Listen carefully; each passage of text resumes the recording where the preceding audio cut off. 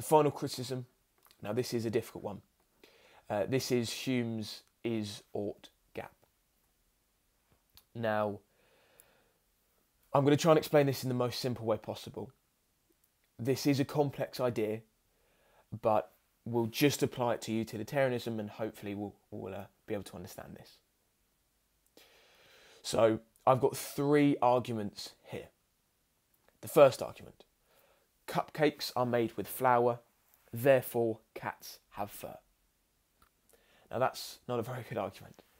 And it's not a very good argument because the premise, cupcakes are made with flour, doesn't lead to the conclusion, cats have fur.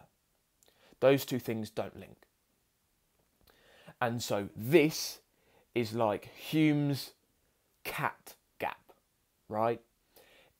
Conclusions about cats must be proved by premises that also have cats in them.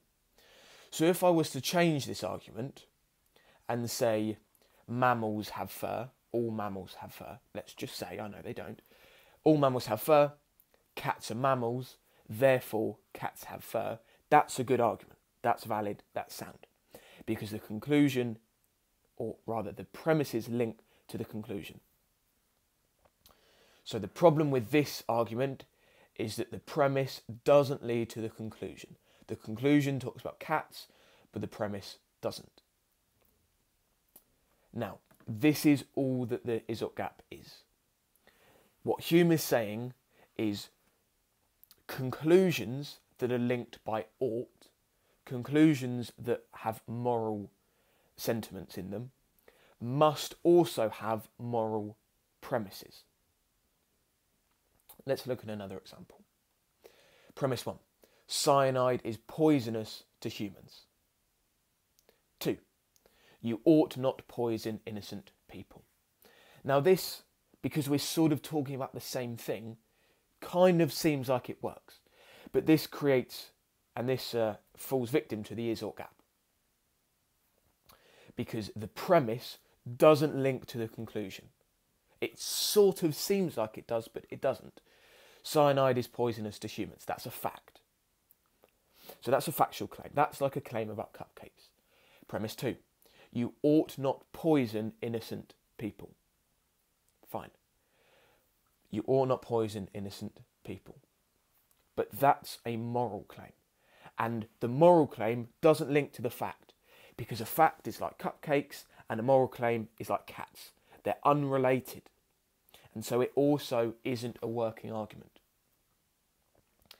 That's the ought gap.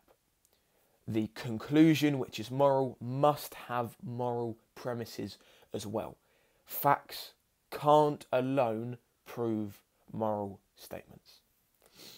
Now, let's apply this specifically to utilitarianism.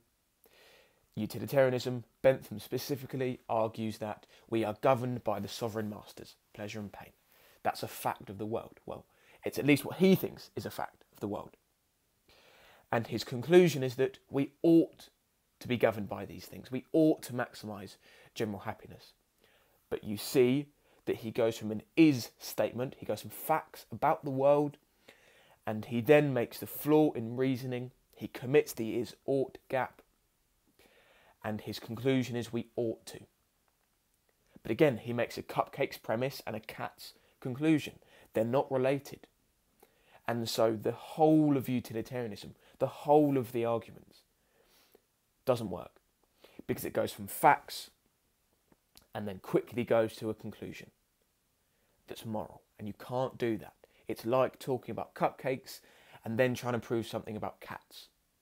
Talking about facts and then trying to prove moral claims. It doesn't work. And that's the flaw of the biggest flaw, in my opinion, of utilitarianism.